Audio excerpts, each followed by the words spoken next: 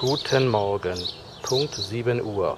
Der Test heute heißt Super Öko oder auch Frank will's wissen. Wie sparsam kann man mit dem neuen Opel Ampera e fahren?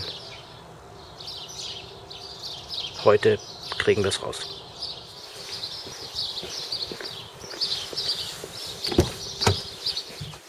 Schönen guten Morgen im Opel Ampera. Ich muss noch kurz hier das Mikrofon anschließen. Heute muss ich mal meinen dicken Kittel anhaben. Ja. Ja. Ton da, okay. Ähm, ja, schönen guten Morgen. Warum muss ich meinen dicken Kittel anhaben? Weil halt super Ökotest ist. Bremse drücken, Start. So, wir müssen noch hier kurz mal meine Route angucken. Als allererstes mal die gesamte Klimaanlage ausschalten. So, Sitzheizung mache ich aber an auf 3. Zeige mir mal weitere Routen. Ich muss ja jetzt quer durch die Pampa fahren. Ah, nee, annähernd sowas vielleicht. Aber ich ändere das noch. Und los geht's. Ja, ich sage euch, dieses Auto hat keinen Vampir. 247 Kilometer jetzt hier, so um die 75 Prozent. Super. Also über Nacht kein Verlust durch Vampire, durch Elektrovampire. Das ist, finde ich, gut. So, ich hoffe, das raschelt jetzt nicht zu arg hier, weil ich meine Rascheljacke anhabe. Energie. Wir müssen mal hier, hier drauf und mal resetten. So, leider diese Anzeige resettet sich nur, wenn ich voll getankt habe. Das muss ich unbedingt mal machen. Voll geladen habe, Verbrauchsstatistik. So. Und hier drüben haben wir auch noch den Verbrauch von gestern. 100 Kilometer gefahren, 18,6. Das war die Fahrt nach Stuttgart übrigens. Nicht schlecht, aber Reset. So, 15,9 sagt er selber, wäre sein Normverbrauch. Okay. Ich würde sagen, wir fahren mal los. Ähm, also, Umwelt 5 Grad Außentemperatur. Ich habe nichts vorgeheizt im Auto. Ähm, jetzt habe ich hier die Sitzheizung an. Auf Stufe 3. Sonst nichts. Ich habe euch extra mal den unteren Teil hier eingeblendet, damit ihr heute mal alles seht. Viel weiter geht meine Kamera nicht zurück vom Winkel. So. Okay, ich mache mal kurz die Lenkradheizung an. Lenkrad ist auch ein bisschen kühl. Und dann fahren wir möglichst stromsparend zur Arbeit. das ist jetzt die Übung, die super Öko-Strecke sozusagen. Die geht quer durch die Landschaft und ich versuche möglichst wenig Strom zu verbrauchen, aber kein Verkehrshindernis zu sein. So, ich habe jetzt hier mir angewöhnt, innerorts den L-Modus zu nehmen, der ja stärker rekuperiert. Da kann man One-Pedal-Driving machen, muss man nicht mehr ständig noch aufs äh, Strompedal, äh, aufs Bremspedal drücken. Obwohl Tritt aufs Bremspedal rekuperiert ja bei dem Auto genauso positiv wie bei anderen neueren Autos. Deshalb ist das gar nicht so schlimm. Ich kann auch noch mit diesem Pedal hier links am Lenkrad, hinterm Lenkrad, kann ich auch rekuperieren. Mir ist diese L-Stufe da lieber. Kann jeder aber sehen, wie er will. Ist ja auch in jedem Auto irgendwie anders gelöst. Tschüss Tankstelle übrigens. Ich habe mich noch gar nicht von meinem Tankpächter hier verabschiedet. Ich wollte eigentlich mal mit dem Elektroauto dann vorfahren und sagen, so, ich komme nicht mehr. Habe aber immer Angst, dass ich mit irgendeinem anderen Benziner dann doch mal da tanken muss. Er dann sagt, da bist du ja wieder. Oder Ende Diesel hätte ich ihm sagen sollen oder irgend sowas zumindest. Na gut. Ja, etwas dreckige Scheibe hier. Ich habe Wischwasser eingefüllt, wie ihr seht. Es war gar keins drin. Jetzt weiß ich nicht, ob die das leer gemacht hatten bei der Überführungsfahrt oder ob sie noch nie was eingefüllt hatten. So neu ist das Auto. 3722 Kilometer. Ja, super Öko. Wo fahre ich lang? CarPlay. Ich fahre hier eigentlich zwischendurch hier. Das stimmt gar nicht. Deshalb, ich fahre jetzt hier gleich abweichend wirklich mal die kürzeste Strecke sozusagen. Ähm, ich hätte hier jetzt irgendwie als Option Autobahnen meiden reinmachen sollen. Habe ich jetzt aber nicht. Na gut. Ja, ich kriege die Option da im, in der Karten-App dann meist nicht mehr raus. So, Lenkradheizung aus. Wieder ein Verbraucher aus. Wir beobachten das hier. Im Moment ist unser Durchschnitt bei 16,1. Sensationell.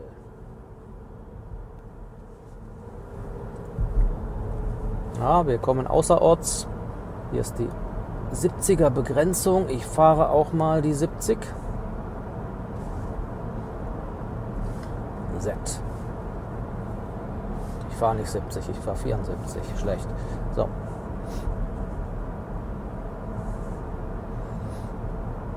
Ich weiß nicht, ob der Rückspiegel die Autos eher näher anzeigt oder ob die auf mich auffahren.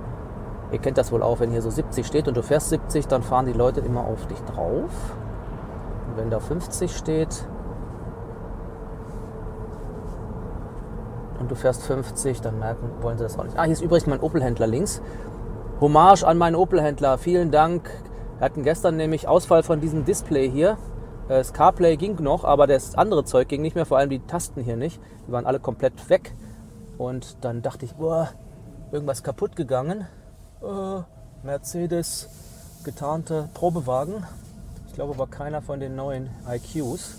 Aber sie fahren jetzt hier verdächtig viele Autos gerade rum. Also, Display war komplett ausgefallen. Und dann habe ich mir schon als erstes so gedacht, irgendeine Sicherung ist durchgebrannt. Weil ich hatte nämlich CCS eingesteckt und blub war das Display hier dunkel. Da drüben ging noch alles. Komischerweise ging die ganze Steuerung aber auch noch. Ich konnte noch hier drehen und es wurde kälter oder wärmer. Hat alles noch funktioniert, aber die Tasten haben mir gefehlt. Ich konnte da nicht auf irgendeinen anderen Screen wechseln. Ich konnte ja auch drücken ewig, ging nichts. Ich weiß nicht, wie so ein Reset ist von dem System dahinter, wie man das macht. Ähm, dann habe ich das iPhone angeschlossen und das CarPlay kam noch, genau wie hier. Also die, die Übersicht kam hier und auch die Karten gingen noch. Das war noch sehr seltsam, sowas habe ich noch gar nicht gesehen. Deshalb war dann der Verdacht, dass irgendein Steuercomputer dahinter kaputt war und gar nicht oder ausgefallen war und, und gar nicht das Display selber. Also Sicherungskasten angeguckt. Tausende von Sicherungen und zwei, eine nennt sich Display 1, die andere Display 2. So, jetzt habe ich gedacht, die ist durchgebrannt, habe aber nichts genau gesehen, war alles Duschter da in dem Sicherungsloch. Bin also zu meinem Opel-Händler auf der Rückfahrt in der Hoffnung, dass er dann auch so eine Sicherung hat. Und der war natürlich super erfreut, weil hat noch nie eine Ampera E gesehen. Haben wir also gleich eine Probefahrt gemacht. Nein, vorher haben wir das Problem gelöst, indem man nämlich diese beiden besagten Sicherungen mal rausgezogen hat und wieder rein und es hat sich nichts verändert. Und dann haben wir aber gesagt, Moment mal, jetzt er ja, war er ja kurz stromlos. Dann haben wir es nochmal eingeschaltet und tatsächlich dann ging es wieder. Also wir haben irgendwie durch Sicherung raus komplett stromlos machen von dem Teil das geresettet kann natürlich nicht die Lösung sein. Ich habe schon gehört, dass beim Alter Ampera musste man auch bei bestimmten Situationen mal die 12 Volt Batterie abklemmen. So außerorts fahre ich mal D. Und im Grunde haben wir das ja hier jetzt auch gemacht, dass wir die Batterie abgeklemmt haben kurz von dem System und dann wieder ging es auch wieder. Jetzt funktioniert es wieder wunderbar. Ich muss es mal beobachten. heute Nachmittag auch nochmal CCS laden. Also es war so eingesteckt am CCS, angemacht, das Auto, und dann kam das Display nicht mehr hoch. Seltsam. Also wenn jemand weiß, wie man hier irgendwelche Tastenkombinationen drücken muss beim Einschalten oder wie auch immer, dass sich diese Computer dahinter booten, dann mir bitte sagen. Ja, der Golffahrer hinter mir hat irgendein Problem, obwohl da jetzt hier 50 ist und da auch eine Radarfalle. Ich habe immer das Gefühl, die Leute mögen E-Autos nicht. Oder Leute, die sich an die Geschwindigkeitsbeschränkung halten. Ach, seltsam. Also, innerorts 50, wir fahren 50. Innerorts 50 zeigt er uns übrigens nicht an, er zeigt das Innerortszeichen. Aber Erkennung von Innerorts, Außerorts, Verkehrsschildern, also Geschwindigkeitsbegrenzungen, Beschränkungen ist einwandfrei. Meiner Meinung nach auch nach Kamera, weil er, also mit Kamera, weil er nämlich Baustellenschilder eigentlich auch gut erkennt. Andere Schilder allerdings nicht. Also Kombischilder weiß ich jetzt nicht, habe ich noch nicht getestet oder genau gesehen. Finde ich aber gut. So. Bleibt, wo ihr seid. Wie ist heute der Fahrstil von den Kollegen hier? Gut. Also gestern hatte ich irgendwie, wollten sie mich immer rammen. So. Also wir fahren hier quer durch. Erkennt er rote Ampeln? Ja, er erkennt rote Ampeln. Nein, ich habe jetzt selber gebremst. Völlig ausgeschlossen. Nein, stimmt gar nicht. Ähm, GM hat ja das Auto als äh, voll autonomes in Betrieb und ich glaube, da erkennt er Ampeln schon. Ne? Ich weiß gar nicht. Also Testwagen. Ne, die haben eine Flotte sogar. Ich glaube, 100, 200 Autos haben sie doch mal umgerüstet von den Bolts, so als, als äh, alle, alleinfahrende Self-Driving Cars. So ein bisschen flottenmäßig ist natürlich lächerlich gegenüber der Riesenflotte von, von äh, Tesla, aber man muss ja Daten sammeln. Also das ist genau das, was man machen muss. Es nützt nicht ein einziges Auto zu haben, was autonom durch die Stadt fahren kann. Du brauchst eine ganze Batterie davon, damit du diese Daten bekommst, wie das funktioniert. Also das finde ich ja super intelligenter Ansatz, zu sagen, ich überlege nicht vorher, wie so ein Robotercar funktionieren muss und programmiere das rein. Nein, die mache ich in so eine selbstlernende Intelligenz und dann beobachten die praktisch, wie reale Fahrer fahren und wie Situationen sind und so. Und dann entsprechend programmieren sie sich selber. Und wenn man das falsch macht, programmieren sie sich als Rowdy. Ja, keine Ahnung. Also eigentlich müsste die Fahrer müssten dann, wenn sie diesen, diesen Roboter anlernen, müssten sie ja auch ordentlich sich benehmen im Straßenverkehr. Ich weiß nicht, wie das noch kommt. Oder wenn jetzt Leute immer so knapp durch die Kurve fahren, dann fahren die Roboterautos nachher auch knapp durch die Kurve oder Ideallinie. Keine Ahnung. Ja, ist mir kalt? Ja, mir ist kalt. Hier sieht man jetzt die Außentemperatur nicht. Die sieht man nämlich nur hier, habe ich gesehen. Da 5 Grad. Ähm, wir müssen geradeaus fahren. Ich bin jetzt hier etwas irritiert, wo ich fahre. Ich fahre da quer durch. Also nochmal Display an. Ja, ja, ist jetzt immer noch drauf, dass ich wieder zurück zur Autobahn fahren sollte. Das mache ich nicht. Nächste Stadt, die hier kommt, ist Kirchheim Tech. Hier vorne ist auch ein Opel-Händler. Das ist der Opel-Händler der mir mehrmals seinen ersten Ampere ausgeliehen hat, wo ich auch den zum ersten Mal hier mein erstes E-Auto gesehen habe und dann auch gefahren bin. Wenn wir jetzt ganz leise sind, hören wir das Fußgängergeräusch. Das kann ich auch ausmachen. Achtet mal drauf. Weg. Ja. Ist ein bisschen umständlich auszuschalten hier geht auch schon wieder an. Das verstehe ich auch nicht. Es resettet sich immer so doof. Na gut. Ähm, erneuter Versuch. Ich muss es irgendwie zweimal machen. Jetzt ist wieder aus. Was ist denn das? Ich glaube, er hat irgendwie ein Problem, zwischen diesen zwei Screens da umzuschalten. Also, seht ihr das jetzt? Es ist wieder hier drin, ist es wieder an. Komisch. Also gut. Dieser Opel-Händler hier drüben geht ihm inzwischen nicht mehr so gut. Ganz wenig Autos stehen da. Der hat noch eine zweite Niederlassung. Ja, na, es sind jetzt zwei Opel-Händler ja auch hintereinander hier. Der hat den alten Ampera gehabt, den alten, den ersten Ampera, den, den mit dem Range Extender, muss man ja ganz deutlich sagen, ist kein Plug-in-Hybrid oder sowas. Das Auto, was ich weiterhin ganz, ganz toll finde, weil es sehr futuristisch war, hatte leider das Problem, dass hier in einem Mitteltunnel der Batterie verbaut war und deshalb hinten nur zwei Leute sitzen konnten. Da war total sportwagenmäßig aufgebaut. Ähm, hey, guckt mal auf unseren Durchschnittsverbrauch. 8 Kilowattstunden pro 100 Kilometer. Wow! So fahre ich in die Arbeit, hey. 8 Kilowattstunden. Ist ja super. 6 Kilometer gefahren. Ja, ich stehe ja auch die ganze Zeit. Aber was, was, ist, was ist das hier jetzt? Äh, Heizung komplett aus. Komplett aus hier. Ne? Alles aus. Und schon habe ich einen super Verbrauch. Oh oh. Jetzt gucken wir mal, wie es weiter sich entwickelt. Also, Ampera 1.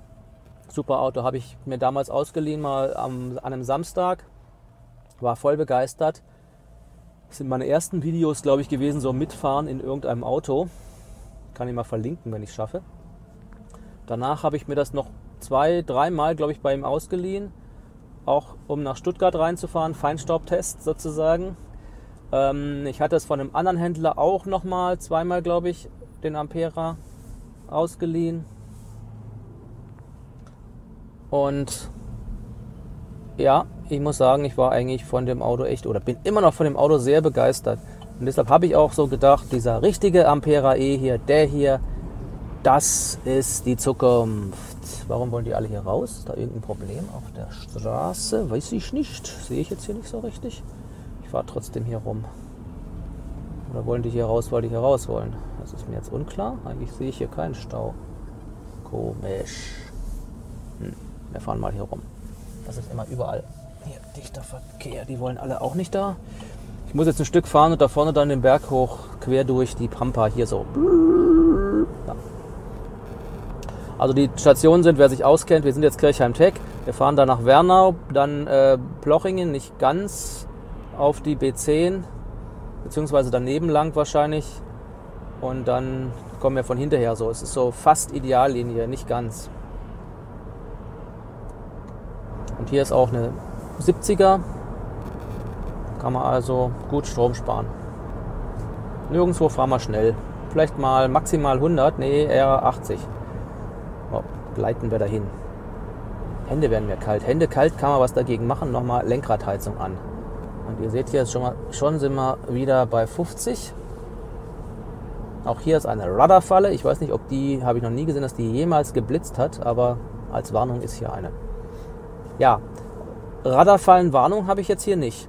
Wir hatten ja neulich ein Auto, den Hyundai Ioniq, der hat immer kurz so gemacht, irgendwie so ein komisches Geräusch gemacht vor der Radarfalle, um einen zu warnen. Die konnte man ja dann ja sogar hier von Hand, ich sehe eine Radarfalle, programmieren für die anderen. Äh, kurz überlegen, wie wir fahren. Wir fahren hier lang. Wir fahren die Autopilotstrecke, die ich mit dem Model S neulich gefahren bin, um euch zu zeigen, dass der Autopilot funktioniert. Die war nämlich super einprogrammiert. Die Strecke fahren wir jetzt gerade hier, merke ich. Okay, so die Querdurchstrecke. Navi hat es noch nicht gemerkt. Will immer noch zurück zur Autobahn. Ich habe irgendwie keine Ahnung, wie ich hier, während er fährt, irgendwie diese Optionen ändere. Geht das überhaupt? Kann ich nicht. Ich kann hier irgendwie das hier ausschalten, dass er mir da keine Wegführung macht. So. Aber ansonsten kann ich nichts programmieren hier irgendwie. Ich weiß nicht. Na gut, er will immer, dass ich zurückfahre. Das will ich nicht. Also machen wir uns die Übersicht. Dem einen Ausschalten von dem Ton funktioniert jetzt wenigstens besser. Da hatte ich auch mal in einem anderen Auto auch Schwierigkeiten. Das war auch der Ioniq, glaube ich. Da hat er immer noch zwischendrin trotzdem einen Ton gebracht, obwohl ich den Ton aus hatte. Ich dachte aber, das ist dann eher ein Apple-Problem. Ja, jetzt geht es langsam so ein bisschen den Berg hoch. 8,7 Kilowattstunden auf 100 Kilometer. Das ist natürlich phänomenal. Ich habe weiterhin die Sitzheizung auf 3. Geht so halbwegs, weil wir haben ja nur 5 Grad Außentemperatur, vermutlich auch 5 Grad Innentemperatur. Da gibt es, glaube ich, keine Innentemperaturanzeige. Äh, weiß nicht, ob es der App eine gibt. Nee, glaube ich auch nicht. So, jetzt ist hier 50. Ich könnte mal. Oh, ist es jetzt ein Reset machen? Wieso soll ich lenken? Ja, ich will doch lenken. 70er könnte ich hier fahren, mache ich auch mal. Obwohl 70 den Berg hoch hier ganz schön schnell ist. Um nämlich enge Kurven. Wir fahren mal im D-Modus, falls wir ein bisschen mehr segeln müssen. Wird dadurch gleich rekuperiert. Ja, ist ein bisschen Berg und Tal hier, nicht ganz ideal. Wir fahren jetzt hier kurz den Berg hoch und hinten gleich wieder runter. Ja, hinter mir ist keiner.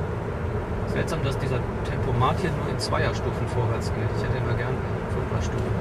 Also jetzt 50. Ich fahre viel zu schnell. Selber fahren, ne? Wir können ja auch selber fahren. Fun. Oh, Fun. Das ist hier mein Spurhalteassistent. Den kann ich auch mal ausschalten. Den brauche ich aber nicht. Energiesparen, was geht. Ja, Energie. Ihr wollt die Energiebilanz. Ne? Hier ist die Energiebilanz. Moment. Super. Ja, das andere reagiert natürlich jetzt nicht. Ich weiß nicht, ob das da reagiert. Das glaube ich ist auch nur auf Vollladung. Ah, das funktioniert alles hier nicht. Nee, nee. Also das Einzige, was ich euch anbieten kann, ist dieses Teil hier. So, und jetzt fahren wir etwas, ne, wir fahren nicht, wir rollen etwas den Berg runter. Möglichst mit im Segelmodus. Ich kuppel aber nicht aus hier drin. Das habe ich nicht probiert, ob das überhaupt geht. Also die Auskuppelei da, Segeln mit dem Model äh, S lieber nicht. Ne, da ist der Link, ne? wenn ich in der Link bin ja richtig rum. So, und mal kurz auf L-Modus. So kann man also hier einfach nochmal stärker rekuperieren oder indem man natürlich den Pedal hier zieht. Übrigens, wenn ich gerade lenke und, und dann rekuperieren will, kann ich natürlich schlecht am Pedal ziehen. Habe ich festgestellt. Also, wenn man jetzt hier so fährt, was mache ich mal da vorne? Da ist nämlich jetzt hier zwischen ist unklar, ich weiß gar nicht, keine Geschwindigkeitsanzeige gerade da. Und da vorne ist gleich 50. Da kommt auch ein Ort. Da kann ich natürlich hier, wenn ich jetzt den so rollen lasse, hier am Pedal ziehen und auf 50 abbremsen. Das geht natürlich auch. Aber wie gesagt, also ich habe festgestellt, wenn man das Bremspedal drückt, dann rekuperiert er auch und nicht, bremst nicht gleich mechanisch. Ist also super, es funktioniert gut. Ja, jetzt wird mir hier die Hände ein bisschen wärmer. Hand, äh, Lenkradheizung ist super. Ich lasse mal ein bisschen an, mal gucken, wie warm die wird. Und ja, jetzt ist hier eigentlich plus 50, ne? Und von daher Z und äh, 54, 52. So, hinter mir fährt gerade keiner, da kommt ein Bus weiter hinten. Der rast auch schon daher. Hey, hier hält sich kein Mensch an die Geschwindigkeitsanzeige. Okay, fahr mal 52 oder 54. Dass die nicht ganz nervig werden, der Bus da hinter mir. Jetzt hat er so die Spur, die ich fahren will. Hier genau, so quer durch. Seht es auch, fast Ideallinie. Wir werden aber da vorne auch, na, ich muss mal überlegen, ob wir auf die B10 fahren, weil die ist ja eigentlich 80. So, jetzt hängt hinter mir, hinter mir der Bus. Er will natürlich jetzt hier in diese Stadt fahren. Dann fahren wir 60. Äh, mehr fahre ich nicht, Leute. Eh. Also, da ist eine Geschwindigkeitsbegrenzung wegen erhöhter Unfallgefahr hier auf diesen Strecken. Und seht ihr auch die ganzen Dinger hier, doppelte Striche und so weiter. Ich meine, okay, du bist spät dran da, du Bus. Also Schulbus, keine Ahnung. Und hier vorne kommt eindeutig das Ortsschild. Kann mir keiner sagen, dass man hier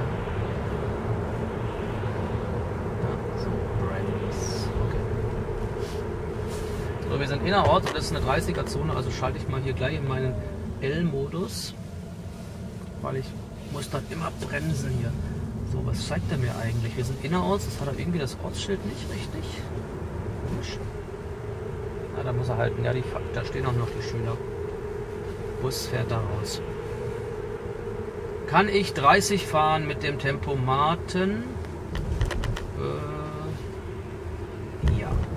Nein, ich kann sogar unter 30. Guckt euch das an, 25 kann ich fahren mit dem Tempomaten. Das heißt, das Auto könnte jetzt selber, ich mache nichts durch den Kreisel. Hier ist 30er-Zone. Wird 30er-Zone jetzt erkannt. Oh Mann, Leute, jetzt habe ich euch so schön versprochen, dass er eine tolle Erkennung hat. Und jetzt hat er die gar nicht, ne? Also fahren wir 30 hier. Da ist das Schild. Jetzt Kamera.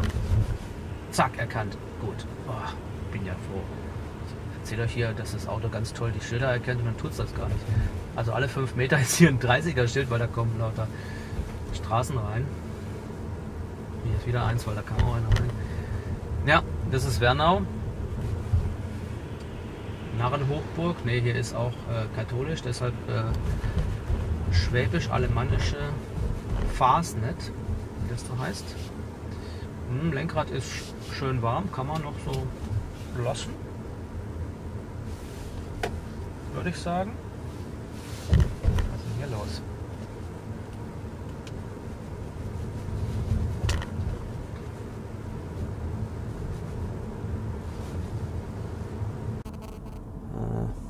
Mir ist der Ton ausgegangen, merke ich gerade hier. Ich versuche noch mal ein bisschen was aufzunehmen, klappt aber nicht, weil Batterie leer. Oh oh, Batterie ist immer entweder volle Pulle oder gar nicht. Hab da schlechten Ton heute. Gar nicht gut. Ich muss da vorne mal kurz anhalten und die Batterie tauschen. Ich bin ja also jemand, der eigentlich immer alles komplett möglichst am Strom anschließt hier im Auto, damit das ja nicht passiert. Aber jetzt ist mir das glatt hier passiert, ey. Na, da kann man schlecht anhalten. Soll ich bei der Tankstelle anhalten? Könnte ich auch. Totale Irritation des Tankstellenwärters? Nee. Wächters. Aber hier, da kann man kurz anhalten. Mache ich auch. Also, schlechter Ton geht gar nicht, ne? So.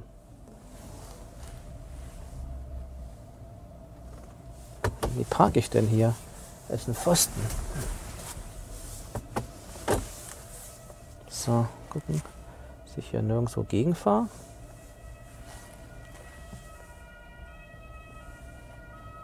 Kommt ein Baum. So, bleib mal kurz hier stehen. Parken. Oh, oh, wo wollen die denn hin? Gut, ähm, also. Wie sind wir denn überhaupt? 8,6 hier, cool. Ich hoffe, ich habe hier eine Batterie drin. Da unten ist eine. So. Es geht ja gar nicht schlecht, der Ton geht überhaupt nicht, ne? Jetzt erinnere mich hoffentlich, dass die nachher hier Müll ist. Ja, der ist schon wieder ausgegangen. Oder war es zu kalt? Habe ich den hier drin liegen gelassen? Nö, nee, eigentlich nicht.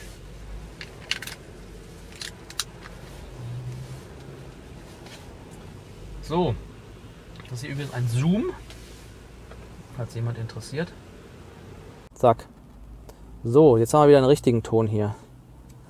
Und den tue ich mir hier neben. Das hier packen wir kurz wieder weg. Sorry für die Unterbrechung. Ihr seid live dabei. Wollt ihr eigentlich nochmal das Equipment irgendwann dokumentiert haben, wie hier mein Gesamtaufbau ist, oder ist euch das wurscht? Äh, gut, also. Ne, halt. Was mache ich denn? Da, die, so. Ähm. Wir fahren weiter. Mhm. Leider rote Ampel hier. Wir stecken noch in Wernau fest und wollen jetzt so quer durch. Das ist hier eigentlich die B10. Ich könnte aber auch die Nebenstrecke fahren. Ich fahre mal Maximum Nebenstrecke. Alles, was geht, um Strom zu sparen. Äh, Lenkradheizung ist an. Sitzheizung ist auf 3. 13 Kilometer sind wir gefahren, 8,7 Kilowattstunden auf 100 Kilometer und ja, sieht hier auch so aus. Durchschnitt von 12 zeigt er mir hier an. Seltsam. Wieso zeigt er mir da 12? Am Anfang hat er ja irgendwie was 16, knappe 17 Kilowattstunden wohl angezeigt, was er selber annimmt. Das ist wohl sein Durchschnitt um auf diese Berechnung da zu kommen. Jo. Also, mysteriös, immer wenn ich hier in mein CarPlay wechsle, geht der Sound wieder an von dem Fußgänger-Warnsignal. Ist ja auch interessant. Äh, so, jetzt muss ich mal kurz entscheiden, wie ich hier fahre. Hm, ich könnte da hochfahren und wieder runterfahren, das mache ich ja oft. Mache ich heute nicht. Heute fahre ich mal geradeaus. Ich fahre ganz selten hier geradeaus, kenne mich gar nicht aus. Bleibe ich nämlich auf der Ebene und habe hier nicht nochmal so Schwankungen. Ich fahre aber nicht die Bundesstraße, sondern ich fahre eine Nebenstrecke. Jetzt wollen wir es doch echt mal wissen hier. Super Eco. Ohne Heizung. Marcel von Clean Electric. Schöne Grüße. Es geht, ja. Wir haben plus 5 Grad oder sowas. Wie kann ich das feststellen, indem ich hier mal auf Home gehe? Ja, plus 5 Grad. Und deshalb, es ärgert mich auch, dass ich mit zweimal tippen muss. Ich will hier so einen Button, der sofort wieder auf die Navi wechselt. Habe ich nicht. Also der, der Marcel vom Clean Electric Podcast, der macht ja auch öfters solche super Öko-Trips indem er guckt, was mit seiner Zoe, glaube ich, was da so rauskommt und wie günstig man fahren kann. Und der hat auch genau diesen Modus, dass er langsam fährt, bedächtig fährt. Also bedächtig heißt, dass man halt nicht so beschleunigt und dass er Heizung aus hat, Sitzheizung an, Sitzauflagenheizung hat der ja nur und Lenkradheizung benutzt, so, wenn man es braucht. So habe ich es jetzt auch. Ich mache sogar eine Reduktion jetzt hier mal auf zwei Punkte, Stufe 2 nur vom von der Sitzheizung. Ich merke sie so ein bisschen, aber das ist nicht übermäßig. Jetzt muss ich ja gerade mal gucken, wo ich fahren muss. Hier nicht, sondern die nächste. Ja. Gut. Ähm, so, jetzt ist aber hier alles wieder an. Ne? Ton funktioniert. Super.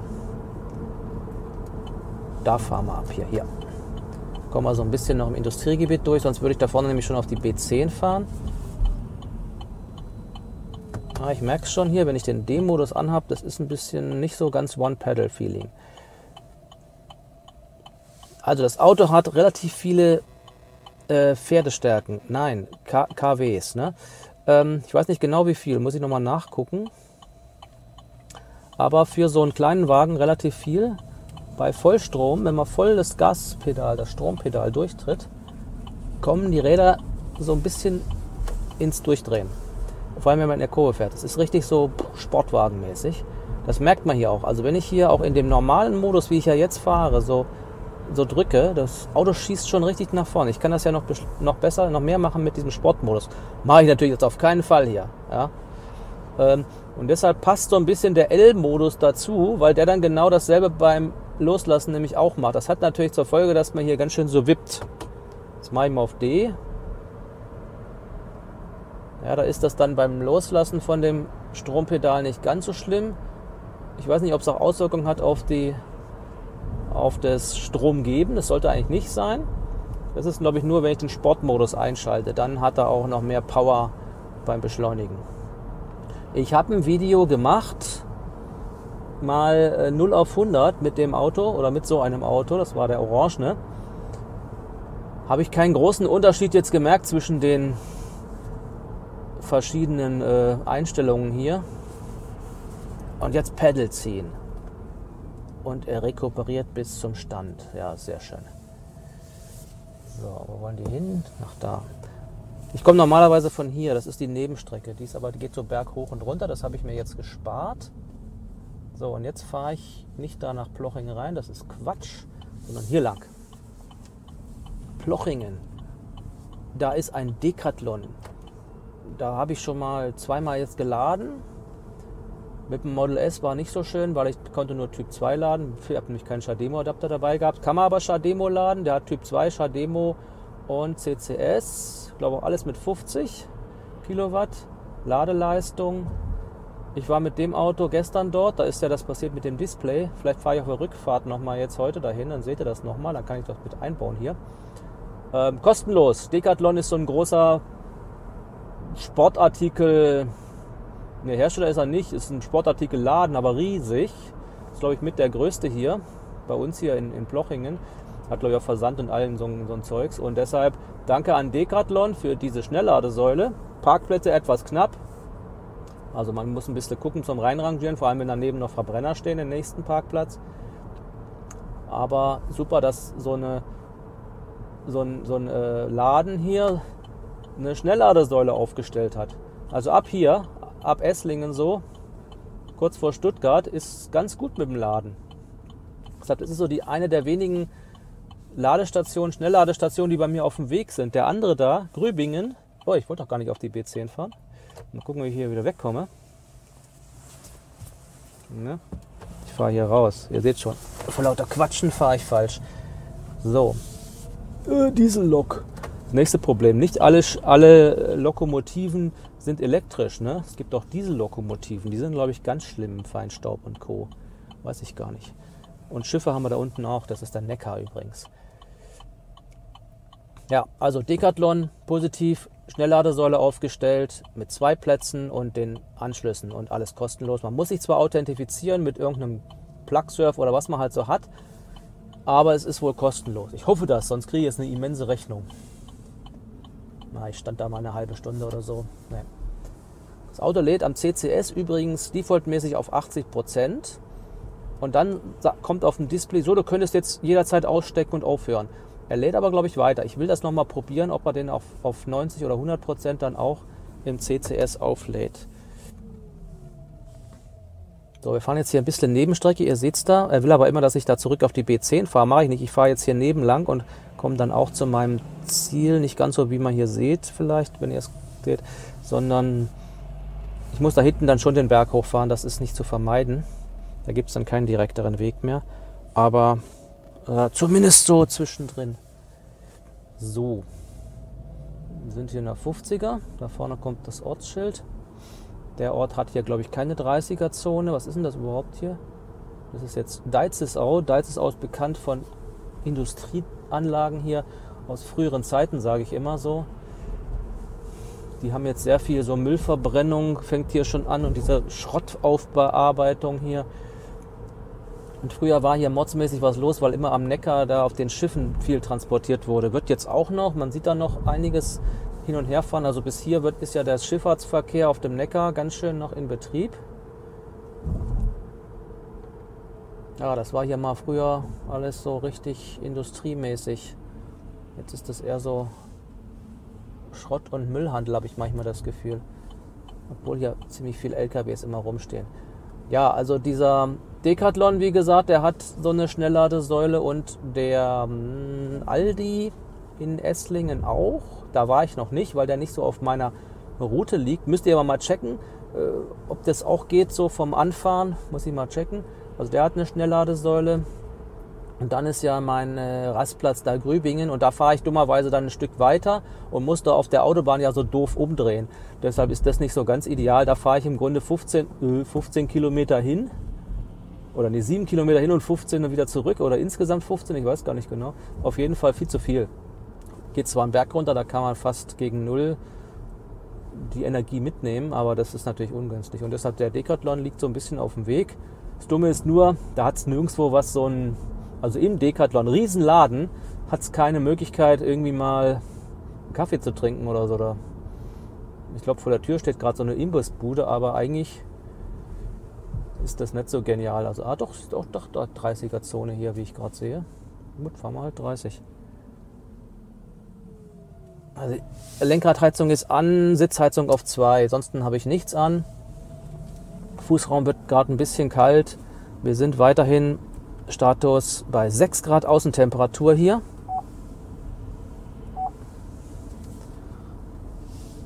Und sensationeller Verbrauch, ne? 9 Kilowattstunden. Wow, das Auto ist doch gut. Ja, aber Heizung komplett aus. So, jetzt ist die Frage, gibt es irgendeine Stufe dazwischen? Heizung an, aber äh, nicht ganz auf volle Pulle oder nur Driver Only oder irgendwie gibt es da noch einen Trick. Ne? Das ist jetzt die Frage. Das muss man sich dann nochmal angucken, ob ich irgendeine Einstellung hier finde, die mich nicht ganz so frieren lässt, aber trotzdem effizient ist. Also hieran seht ihr jetzt, wie viel Energie diese Heizung frisst hier. Wahnsinn. Ich hatte ja gedacht, so 5, 6 Kilowatt oder sowas oder vielleicht 4 bloß. Es scheint da viel mehr zu sein. Ah, hier Warnsignal vom Fußgänger. Habt ihr gerade hier mal unten links gesehen. Fußgängerin ist nämlich rübergelaufen. So sieht das aus. Da vorne wird normalerweise was eingeblendet. Oh, ich habe jetzt meine Einstellung nicht gecheckt. Gestern hatte ich mal das Handbuch da und habe gedacht, müsste mal die Einstellungen checken von dem Head-Up-Display da. Da ist vorne so ein Head-Up-Display mit drei so LED-Punkten, wo man diesen Annäherungsalarm sozusagen, den, den Notbremsalarm sieht. Bei Fußgängern oder irgendwelchen Hindernissen vor dem Auto habe ich jetzt selber noch nicht gesehen. Ich weiß auch gar nicht, ob es an ist. Ich sehe da zwar das Loch, wo das drin ist, aber ich habe noch nie die LEDs gesehen. Der Stefan vom, vom Strominator, der hat ein Video gemacht mit dem Ampera E, da haben sie das gezeigt. Verlinke ich mal, wenn ich es finde. Da hat er da die LEDs gezeigt, dass die da angehen irgendwie, wenn man davor springt, glaube ich. Ich weiß nicht, wie sie es gemacht haben, muss man mal gucken. Ja, jetzt hat er die Nebenstrecke hier auch. Ein bisschen stockender Verkehr. Ah, wir sind eh bloß auf 30. Jetzt ist eine 50er, glaube ich, da vorne ist. Ja, da drüben ist die B10, da könnte man 80 fahren. Hier kann man, glaube ich, plus 70 fahren. Ist aber alles in Ordnung. Da kommt noch ein Fußgänger, der wird nicht erkannt. Ich weiß nicht, in welchem Bereich er hier die Fußgänger erkennt. Ich hatte aber schon gesehen, dass er auch Fußgänger schon mal erkannt hat, die so neben mir liefen. So, ich bin außerorts, 50. 50 wurde erkannt. Hat keinen Sinn hier gerade Tempomaten einzuschalten, weil der leider nicht adaptiv ist und ich jetzt hier nämlich schon wieder auf einen vorausfahrenden drauf fahre. Hier ist 70. Ja, ich sage ja immer, Leute, warum habt ihr das nicht reingebaut, den adaptiven Tempomaten? Weil ich zeige euch mal was. Hier ist nochmal Schild und das hier ist die, der Abstand zum Vordermann. Ich fahre mal ein bisschen auf den ran. Wie viele Sekunden der praktisch vor mir fährt. Das heißt, das System hat so ein Radar drin, Abstandsradar nach vorne, vermutlich auch wegen dem Notbremsassistenten. Sie haben es nur leider nicht mit dem Tempomaten verbunden. Ich hoffe auf, weiterhin auf ein Software-Update, dass sie das noch reinbauen. Nichts angekündigt in der Beziehung. Schade, schade. Ich habe hier die sogenannte First Edition. Das ist das Fahrzeug, was zum Leasing, glaube ich, ausgeschrieben war. Also das allererste Fahrzeug. sind nicht die Fahrzeuge, die gelb, ich darf noch, die jetzt gerade verkauft werden. Da gibt es eine Variante bzw. zwei Varianten. Diese, die haben, ich weiß nicht, was die noch mehr drin haben. Also die, ich glaube nicht großartig was. Das ist ein bisschen in der Ausstattung hier so. Es kommt aber noch im Spät 2018 kommt noch eine Variante, die hat diese, wie soll ich es nennen, virtuelle Rückfahrkamera. Das ist nicht das Display hier oben, das hatte der, hat der Bolt in USA drin, dass das hier auch als Display funktioniert. Das konnte man dann so umschalten hier irgendwo. Und dann ging der auch als Display. Und dann hat man praktisch direkt hinten rausgeguckt mit einer Kamera und nicht ähm, den Rückspiegel, einen richtigen Rückspiegel gehabt. Weil ich sehe jetzt natürlich die Sitze und da hat man dann hinten praktisch direkt rausgeguckt. So 180 Grad fast. Das ist natürlich eine super Sache. Und irgendwie mit den Kameras, die da verbaut sind, kriegt man scheinbar auch nur mit der Rückfahrkamera irgendwie hin und der vorderen, ähm, hatten die so ein, so ein virtuelles Rundumbild beim Rückfahren gemacht, sodass man die, genau die Hindernisse sieht. Das ist bei, bei vielen Autos inzwischen so drin. So ein BMW hat das und auch andere neuere haben das. Auch bei Opel hat das einen, dieser Crosslander, glaube ich, der hat das. Und das sollte hier, das soll hier in dem auch noch kommen. Das ist sowas, was wohl Opel in sämtliche Autos reinbauen will. Diese Rundumsicht noch. Wieso steigt mein Verbrauch jetzt eigentlich? Bin ich bei 9,8? Was ist los hier? Aber immer noch unter 10, das ist doch Wahnsinn. Ja. Also das kommt noch und dann seltsamerweise ist das Auto günstiger, ganz komisch. Also das, was eigentlich die mehr Funktion hat, ist plötzlich günstiger. Da müssen sie irgendwas anderes wieder rausgebaut haben. Und ich habe nichts gesehen, dass sie einen adaptiven Tempomaten nachrüsten wollen. Ey, das adaptiver Tempomat und das Auto wäre echt sofort meine Wahl. Ja? Sage ich mal so lapidar jetzt hier. Also diesen, diesen komischen hier, ähm, ich schalte es mal an und aus hier, seht das gerade, das ist dieser Spurhalteassistent, den brauche ich gar nicht. Also das ist hier ganz, ganz wenig. Im Ionic war es ein bisschen mehr und erst im, im Ampera, äh, nicht im Ampera, im, im Model S funktioniert es dann eigentlich richtig. Brauche ich nicht unbedingt, also lenken kann ich ja noch, aber der Abstand halten, also das will ich. So, jetzt, wir sind bei 9,6 und ich muss den Berg hochfahren. Schaffen wir es, unter 10 Kilowattstunden zu bleiben? Ich weiß es nicht. Ähm, ich vermute aus der Erfahrung, wir werden knapp drüber liegen. Aber schauen wir mal. Ich fahre jetzt hier mit 50 da hoch. Oder naja, stromsparend. Hinter mir ist niemand, also muss ich hier nicht mit 50 hochfahren. Ich will ja super Öko fahren. Aber Leute, jetzt, äh, jetzt sind wir bei 9,9. Ne? Uh, uh, uh. Ich fahre da oben aber noch durch den Ort ein bisschen. Aber auch wenn das jetzt 10 wären und ich bin normalerweise so knapp unter 20 hier unterwegs, okay, ich bin ein bisschen schneller gefahren und hatte die Heizung an. Aber dass das so viel ausmacht, das ist ja Wahnsinn. Also die Heizung vor allem macht wahnsinnig viel aus. Das ist ja keine Wärmepumpe, ja, keine Wärmepumpe. Kann gar nicht anders sein, weil äh, so ein hoher Verbrauch, also, es, also da müsste Opel echt auch nachrüsten. Eine Wärmepumpe rein.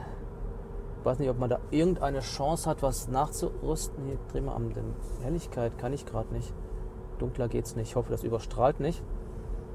Also das weiß ich nicht, was hier los ist. Jetzt sind wir bei 11,4, also. Uh -uh. Aber jetzt komme ich ja hier oben in meine 30er Fußgängerzone wieder. Kann ich eigentlich noch was ausschalten? Ich könnte das ganze Display hier ausschalten, hier drüben noch. Ich glaube, das Radio ist auch in irgendeinem Sparmodus, aber das habe ich eh gerade. Das könnte ich auch auf komplett ausschalten. Ein bisschen was kann ich sogar noch schalten, fällt mir gerade ein, aber eigentlich nur noch minimal. Also echt, wenn ich jetzt Radio ausschalte und noch das Handy nicht auflade, also irgendwann ist ja echt mal Ende ne, mit dieser Sparerei. Ich zeige es euch jetzt einfach nur, dass ich große Verbraucher, also wie gesagt, hier die Heizung ist wohl der größte Verbraucher und moderat Strom geben, obwohl ich mich jetzt da gar nicht so 100% drauf konzentriert habe beim Fahren, weil ich zu viel mit euch geschwätzt habe, diskutiert habe. Also die Heizung ist ja der Wahnsinn hier. Ich bin ja 11,5 ist immer noch ganz toll. Ich fahre langsam durch den Ort. Also die Fußgänger gucken so ein bisschen. Meine, das Auto sieht ja aus wie ein normales Auto und Opel steht dran. Gut, wer sich jetzt nicht mit der Palette so auskennt hier mit den Fahrzeugen, der merkt das dann vielleicht gar nicht. Dass es leise fährt oder dieses komische Geräusch von sich gibt, ist dann noch der andere Sache. Sie gucken schon manchmal, was ist denn das für ein Auto? Das merke ich schon. Die Polizei interessiert sich nicht für mich, weil es vor allem wahrscheinlich von außen relativ lautlos fährt.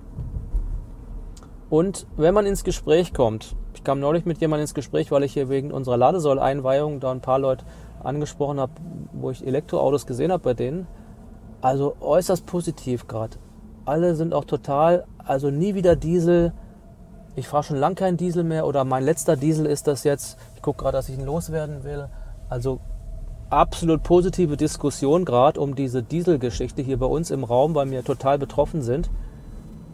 Und ganz positiv auch gegenüber Elektroautos. Da muss man jetzt echt informieren. Viele haben auch so den weiterhin dieses, ja, 150 Kilometer kommen die, ist das nicht ein bisschen wenig? Je nach Fahrprofil ist das ja auch zu wenig, sage ich selber. Also da sehr positive Diskussion gerade. Ah, ich kriege ihn nicht runter, 11,5 sind wir und ich muss noch im Parkhaus fahren. Also lange Strecke jetzt hier unter 10 gehabt. Ne? Und ich bin eigentlich nicht wirklich langsam gefahren, muss man ehrlich auch sagen. Ich bin halt die Nebenstrecke gefahren, der man halt 50, 70 fährt. Ja. Uhrzeit. Hm, achte. Acht, Ankunft 8 Uhr, das ist eine Stunde Fahrzeit. Oh, oh, bisschen weniger. Ich glaube, so 50 Minuten Müsste ich nachher mal genau checken. Zeigt er hier leider nicht mit an. Ähm, ich hatte schon mal gecheckt, diese Nebenstrecke kostet ein bisschen Zeit.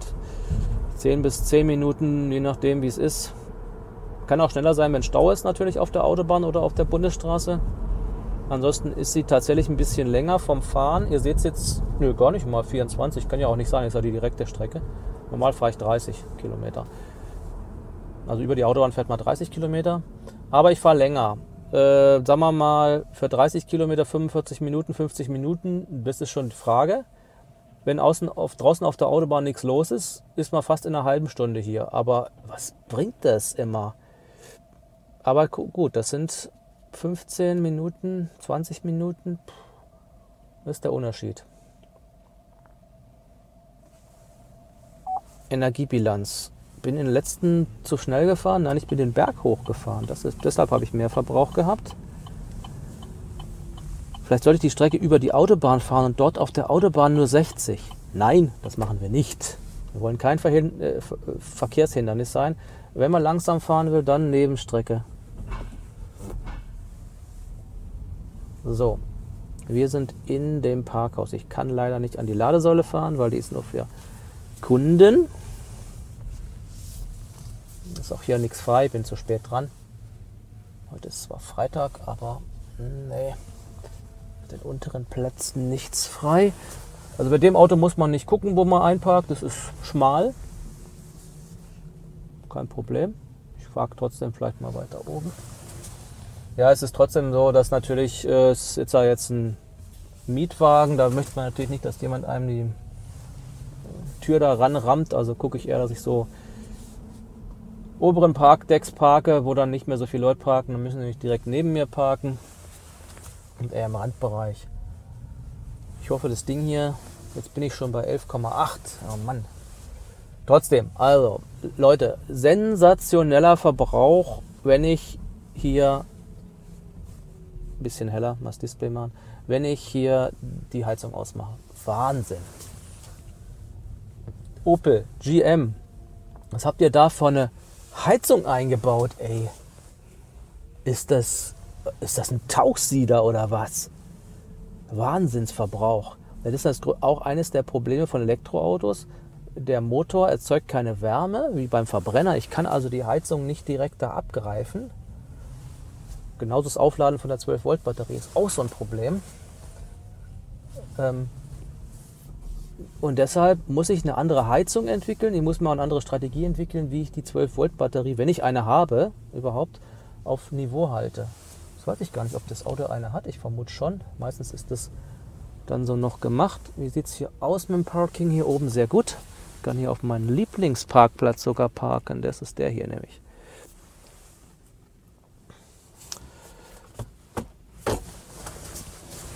Hier, das ist nämlich direkt am Ausgang da parken eh wenig Leute dann auf dem zweiten, vor allem wenn da schon einer steht und man kann hier etwas auf die Sperrfläche stehen oder ziemlich knapp dran. So. Er piepst mir ja ziemlich laut. Jetzt gucke ich mal, dass ich hier besser ziele noch. Wo ist denn da die Linie?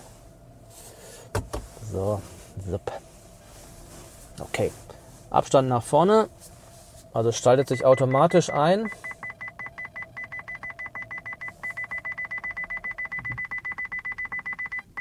Jetzt ist er auf Rot. Jetzt können wir vorne auch mal gucken.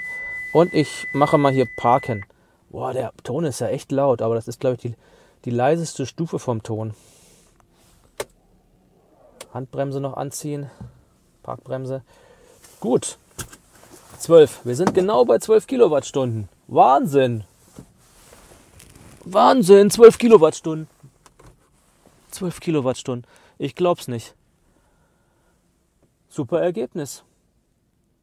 Tja, jetzt gehen wir ein bisschen schaffen, wie man es hier heißt im Schwäbischen. Und dann fahren wir die Strecke nochmal zurück und machen auf der Rückfahrt äh, kurz halt beim Decathlon. Aber schauen wir mal, auf was wir das retten können, die 12 Kilowattstunden hier. Ohne Heizung. Leute, die Heizung ist das Problem. Eindeutig. Das Auto wäre sonst, hätte sonst einen super Verbrauch. Das heißt aber auch für mich, sobald ich die Heizung nicht brauche, der Übergangszeit, teilweise vielleicht im Sommer, wenn es nicht ganz so warm ist, und ich nur die Lüftung vielleicht brauche oder sowas, wäre das Auto wirklich super. Guck mal, jetzt komme ich noch 200 Kilometer. Ich weiß nicht, wie viel Prozent wir haben. Ich check das nochmal für euch. Zack, Handy. Bleibt dran. Ähm, ich checke mal kurz in der My Opel App. da kann ich nämlich hier auch gucken, was die Reichweite ist. Und sollte jetzt mir mal aktualisieren hier. Sekunde. Ich drücke immer, man denkt, es tut nichts, aber es tut doch was. Äh, wir sind losgefahren mit 74 Prozent, 236 Kilometer. Und jetzt sagt er mir, ich würde 245 kommen. ich habe was dazu bekommen.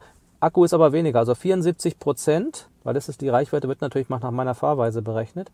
Ich mache mal eine Aktualisierung. 74 Prozent sind wir losgefahren. So, wir sind bei 69. Also wir haben 5 Prozent verloren und 245 gibt er mir jetzt an. Das ist aber schon nach der neuen Verbrauchsberechnung. Also das ist natürlich eine tolle Sache. Ich weiß nicht, ob man es sieht hier. Ja, cool. Super. Und bis gleich. Ja, ich wollte euch kurz zeigen, wie der Abstand ist, wenn er vorne auf Rot geht. Oh, 30, 40 Zentimeter hat er da noch. Also, wenn man da anhält, ist gut. Steht man nicht ganz so knapp dran. Was ist da unten los? Ja, dann mal bis nachher, würde ich sagen.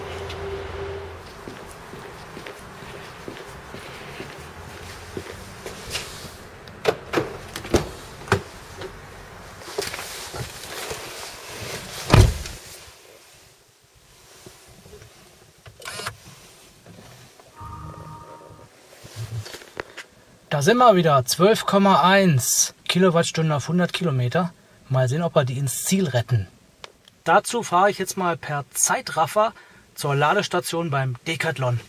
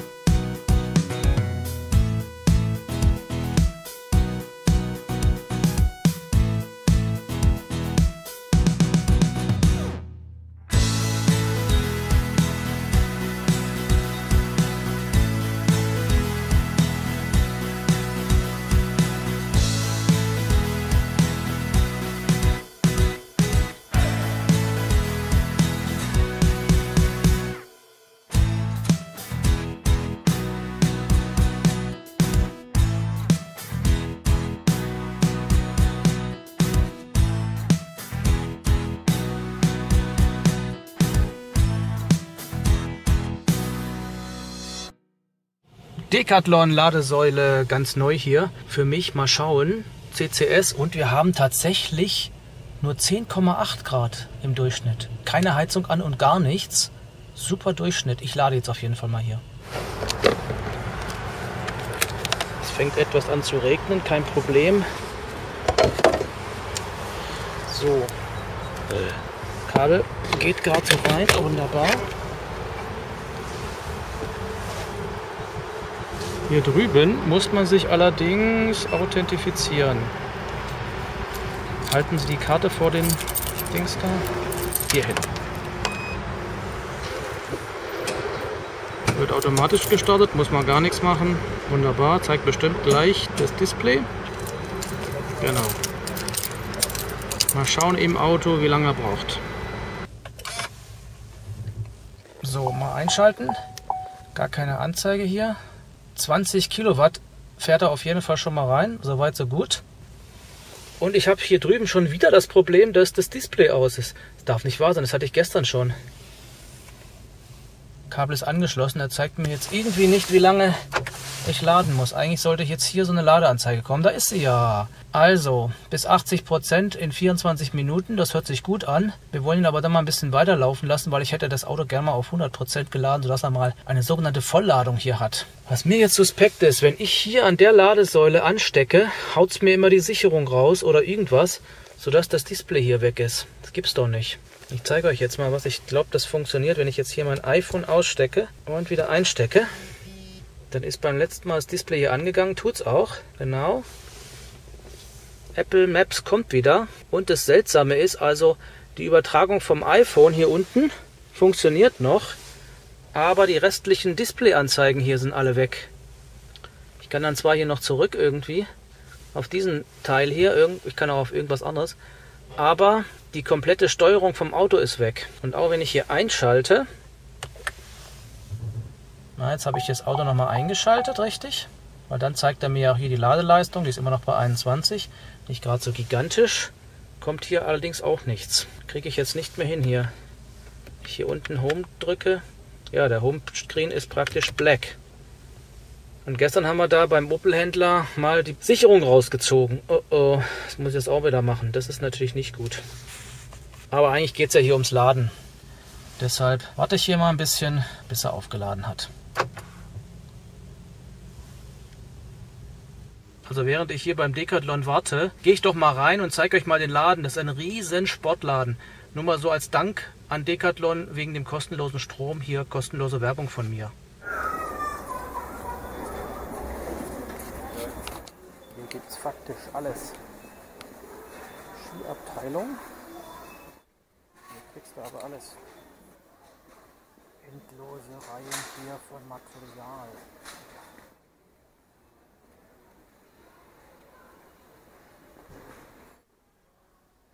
Fitnessgeräte gibt es hier auch.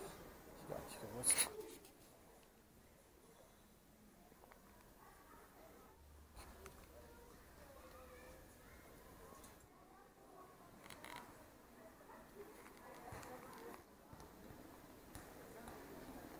Oh, Sättel gibt es auch.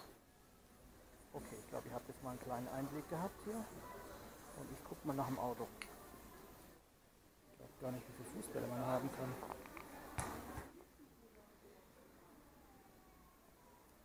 Ja, die Ladesäule ist jetzt ziemlich am Eingang, ganz vorne rechts. Leicht zu finden, wenn man weiß wo. Wenn man ordentlich packt, passt auch ein zweites Auto hin. Hier sieht man ganz deutlich, dass der Ampera E gar nicht so groß ist. Stehen ein paar kleinere Autos daneben. Sieht richtig mickrig aus. Aber super, dass das Decathlon hier macht. So, jetzt sollte es gleich plopp machen. Dann kommt eine etwas seltsame Anzeige. Also bei 80 Prozent habe ich jetzt bei meiner Fahrweise 290 Kilometer. Das ist aber immer abhängig davon, wie der letzte Verbrauch war. Zack, da so sieht's aus. Und jetzt läuft er irgendwie weiter. Man sieht auch schon, er ist auch schon längst über 80 Prozent laut seinem Balken hier. Und jetzt läuft er noch irgendwie weiter rein und lädt. Und ich lasse ihn jetzt einfach auch mal laufen. Ich kann in der Online-App, glaube ich, sehen, wie viel er wirklich hat. Also hier auf der Mobile-App zählt er jetzt auch weiter hoch. 81 habe ich schon. Allerdings hat er hier 293. Das ändert sich natürlich jetzt ständig. Ich muss hier eigentlich immer Update machen. So, und dann macht er ein Reload vom Auto. Das Auto ist ja hier online verbunden mit dem OnStar. Und dann funktioniert das auch. Zack, seht ihr, jetzt habe ich es hier auch. Okay, lassen wir mal weiterlaufen noch. Derweil widme ich mich hier nochmal meinem Display-Problem. Weiß ich ja jetzt von gestern, was das Problem ist. Also kann ich hier mal im Handbuch, da habe ich mir nämlich schon extra einen Marker reingemacht. Ähm, hier ist der Sicherungskasten, naja, die Zeichnung davon. Und gestern haben wir Sicherung 35, Instrumententafel 1 und Sicherung 28, Instrumenten 2 mal rausgezogen und auch die 36, weil die hat mein Händler gesagt, es wäre eigentlich diese Instrumententafel. Hm, bin ich nicht ganz sicher. Die haben wir zuerst rausgezogen, dann die und dann die. Hm, jetzt ist die Frage, was 1 und 2 ist. Ich würde sagen, 1 ist eigentlich das beim Fahrer und 2 ist das andere. Also würde ich jetzt mal versuchen, 28 rauszumachen und wieder reinzustecken und dann zu gucken, was passiert. So, die Sicherungen sind da. Bon, geht nicht so einfach auf. Und ich warte ja hier auf 36, 35. 35, 36, beziehungsweise ich wollte die 28. Die ist da oben. Also 1, 2, 3, 4. 1, 2, 3, die da. Aber die kriege ich so jetzt nicht raus hier. Brauche ich so eine Zange oder irgendwas. Aha, von wegen. Jetzt habe ich sie doch mal rausgezogen. Und wieder rein. Das Display läuft noch und ich schalte hier mal ein. Nö. Keine Veränderung. Das ist nicht die richtige, dann ist es die andere. Ah ja, hier seht ihr es übrigens jetzt. Wir sind bei 90 Prozent. 10 Kilowatt zieht er noch. Na gut. 332 Kilometer bei 90 Prozent. So, wir haben jetzt 350 Kilometer geladen und die Anzeige ist jetzt schon bei 100 Prozent. Stimmt aber nicht. In Wirklichkeit sind es 97. Ich kann auch noch mal hier einschalten. Dann seht ihr die Ladeleistung. Sekunde. Da rechts noch 8 Kilowatt. Okay, lassen wir ihn noch ein bisschen laufen, 7, 8 Kilowatt. Ich will das Ding jetzt mal auf 100 Prozent haben, damit er da einen ordentlichen Reset macht. Also wie gesagt, hier in der App zeigt er das dann noch richtig an, die Prozente. Kann man sich mit behelfen. Im Auto wüsste ich nicht, wo er es anzeigt. Geht glaube ich nicht. Also wie immer bei so einem Test ist er immer plötzlich bei 100 und man sieht nicht mehr, was man kurz vorher hatte. Deshalb checken wir das mal kurz hier. Wir laden nämlich seit 71 Minuten, sind bei 97 Prozent. Der wird wahrscheinlich bei 100 dann einfach abbrechen. Also das merken wir uns mal hier. 71, über eine Stunde und 11 Minuten schon. Oh oh. Aber jetzt ist was Seltsames passiert. Jetzt zeigt er mir hier an, dass er voll ist in der App, aber lädt noch irgendwie. Also das Auto lädt weiter. Ist das jetzt die Bergabfahrreserve oder was?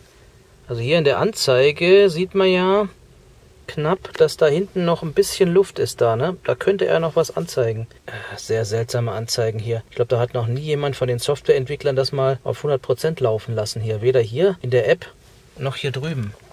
Weiß auch nicht. Es gibt so eine Bergabfahrreserve. Ich glaube, die hatte ich aber nicht aktiviert, weil dann lädt er nämlich nicht richtig voll. Da muss er ja ein bisschen was im Akku Luft lassen, damit man noch rekuperiert, wenn man den Berg runterfährt. Also, hm. Sehen wir was auf der Ladestation. Hm, 98. Ich lasse ihn mal weiterlaufen. Also eigentlich laut App ist er voll, laut Ladestation noch 2%. Ich schalte dann sicher ab hier. Ich schätze 355 bekommen wir. 6 Kilowatt Ladeleistung noch. Ups, ich war zu langsam. Er hat die Anzeige ganz schnell weggemacht. 362 Kilometer bei 100% haben wir jetzt. Das haben wir richtig 100% erreicht. Okay, ich stöpsel mal ab. Das System ist hier gesichert, das kriege ich jetzt hier nicht so leicht auf. Ich gucke mal, ob ich das über meinen Schlüssel entsichern kann. Eigentlich muss ich das schon über die Ladestation machen. Schlüssel. Doch, geht.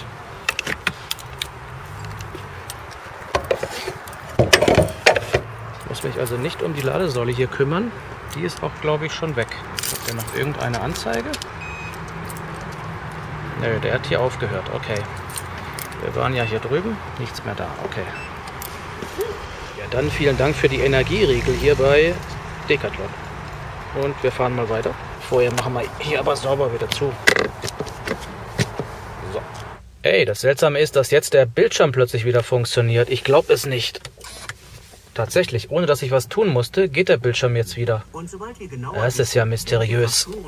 Aber ist der Bildschirm praktisch bei CCS-Laden aus? Das muss ich dann an anderen Ladesäule einfach nochmal probieren. Inzwischen weiß ich auch, wie ein Reset geht. Scheinbar, wenn man diese beiden Tasten hier drückt, gleichzeitig den Home und den schnell vorwärts. Das muss ich auch mal testen.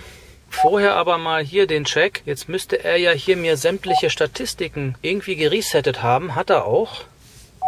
Ah ja gut. Okay, und jetzt können wir mal gucken, wie wir dann hier mit den ganzen Daten in der nächsten Fahrt so zurechtkommen.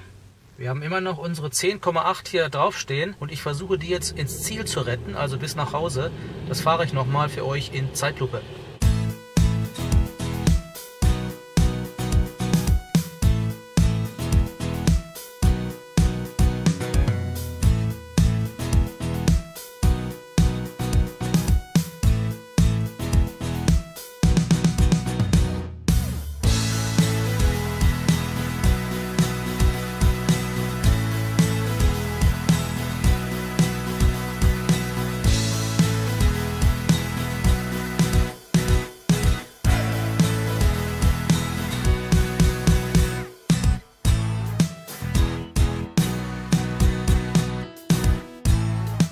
Da sind wir wieder und wir haben 12,5 Kilowattstunden auf 100 Kilometer ins Ziel gerettet. Boah, ohne Heizung, bisschen Sitzheizung, aber sonst nichts. Und kurz mal die Lenkradheizung.